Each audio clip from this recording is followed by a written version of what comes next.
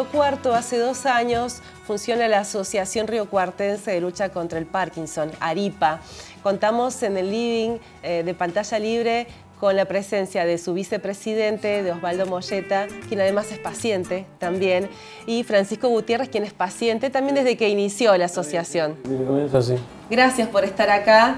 Eh, estamos transitando una semana importante en cuanto a lo que tiene que ver la lucha eh, contra el mal de Parkinson. Mañana, específicamente es el Día Internacional. Internacional, sí. Eh, y ustedes son el primer grupo que se formó en Río Cuarto. ¿Se fueron juntando? ¿Cómo fue esto? Fue un poco iniciativa mía de empezar a buscar gente que colabora y que se generan actividades relacionadas con el Parkinson para poder este, llevar adelante la enfermedad. ¿no?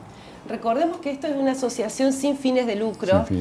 Eh, y la, asociación brinda talleres, le brinda contención a los familiares, eh, asesoramiento legal también. Sí, asesoramiento legal eh, relacionado con el certificado de discapacidad y bueno, y todo tipo de actividad que desarrollamos para que la familia que es la que sufre también la, enfermedad, pueda eh, llevar adelante la mejor calidad de vida. ¿Qué aporta Aripa en su vida? Eh, muy bueno. Francisco. Eh, ¿Cómo puedo explicarlo? recuperar la memoria para estar en todo movimiento. Es muy importante lo que para mí particularmente y los compañeros míos también. los talleres se hacen un día a la semana, pero es importantísimo, recupera muchísimo la memoria, el equilibrio. Imagino que también el hecho de estar en contacto con otras personas que están en situaciones similares, ¿no? Esta puesta en común. Es muy bueno, sí, sí, sí. Hace bien eso también. Hace bien, sí, sí. La familia que lo acompaña, ¿no es cierto? Uno, en mi caso, mi esposo y el otro que veo también viene acompañado a la gente, con los familiares, que es importantísimo eso. El mal de Parkinson es una enfermedad un poco dejada de lado, digo, no, no tiene la difusión eh, que Es muy importante, muy importante porque es mucha la cantidad de gente que sufre el Parkinson. La Organización Mundial de la Salud indicó que son 7 millones en el mundo los enfermos. Digo, no es un número menor ese. Y es una enfermedad que no tiene cura en principio. Digamos que es lenta, es progresiva y aumenta. Empieza silenciosamente, ¿no? Empieza silenciosa, sí empieza con un pequeño movimiento, un pequeño temblor de, algunos de los miembros superiores y después se, se prorraga por, todo el cuerpo. Eh, con ustedes trabajan especialistas. Eh, ¿Qué tipo de talleres son los que les brindan a los pacientes? Hacemos talleres de cognitivo y de movilidad. ¿Cuántas personas están participando actualmente? Y asociación? 20 más o menos. 20, personas.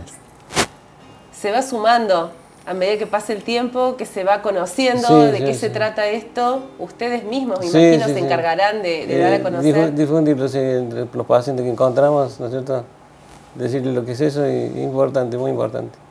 Bueno, vamos a invitar a la gente. Primero, a acercarse a ARIPA, a conocer, ¿por qué no a colaborar también con la asociación? Porque recordemos que es sin fines de lucro.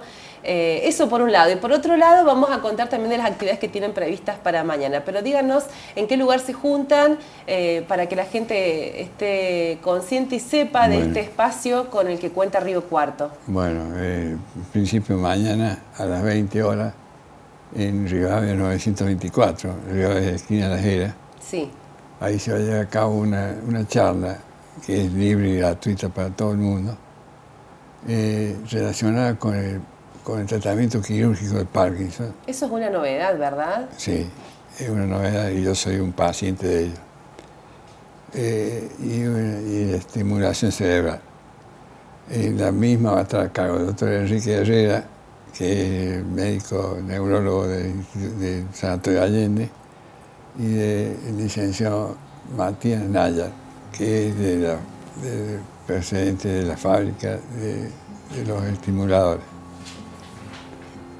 Eh, la verdad que es un sistema revolucionario porque te hacen una instalación de dos chips en la cabeza a nivel de, sin, sin abrir el cerebro nada eh, y te colocan un marcapaso. Y esa es una batería que produce estímulos, eh, estímulos eléctricos al cerebro y al hipotálamo, donde están instalados los, chips, y reduce el movimiento involuntario y reduce todo lo que es el Parkinson en general. La verdad que es muy bueno. Bueno, unas eminencias, las personas que van a estar disertando mañana, entonces, eh, en la sede de AGD, allí es eh, Rivadavia, casi esquina Las Heras. Sí. Eh, recordemos el horario, a las 20. Osvaldo, a las 20 horas. Y eh, todas aquellas personas que sufren mal de Parkinson, tienen familiares, pueden acercarse a ARIPA, a este grupo de personas que brindan contención, que brindan asesoramiento y apoyo. ellos están trabajando en el Consejo Profesional de Ciencias Económicas. En Facebook está la página también que es ARIPA, Asociación Recuartense de, Parkinson. Y bueno, ojalá tenga mucha difusión, ojalá tenga mucha gente que los apoye, que sigan creciendo, sumándose a esta gran familia que es ARIPA, eh, para dar a conocer esto, ¿no?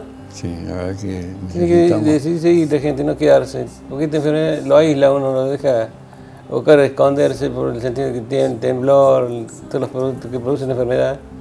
Pero no hay que tenerle miedo, hay que enfrentarle y pelearle de todos los ángulos. Nos quedamos con esa frase de Francisco. Gracias Osvaldo, gracias Francisco eh, por pelearla. Gracias, gracias eh, muy amable. Yo digo siempre que ese amigo del Parkinson. Bueno, bueno, nosotros lo vamos a volver a invitar también para eh, volver a, tratar este tema que nos parece que es importante darle difusión. Muchas gracias, por estar acá. Gracias. ¿Te proponemos?